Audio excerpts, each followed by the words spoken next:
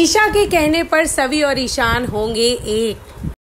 Subscribe करें India forums Hindi को और घंटी के निशान को दबाएँ ताज़ा खबरों के लिए। सीरियल गुम है किसी के प्यार में। आज के एपिसोड में आप देखेंगे कि ईशान और सभी मिलते हैं। सभी यहाँ ईशान से माफ़ी मांगती है कि उसे अपने फैमिली की डेथ के लिए ईशान को जिम्मेदार नहीं मानना चाहिए। और यहाँ ईशान भी उससे बहुत सारी दिल की बातें कहता है। आप देखेंगे सभी बहुत प्यार से ईशान के पास बच्चे की तरह जाएगी, कहेगी कि क्या लास्ट बार आप मुझे हक करेंगे? और ईशान उसे सीने से लगा लेता है। ईशान के चेहरे पर भी साफ़ साफ़ दिखता है कि वो सभी से कितना प्यार करता है।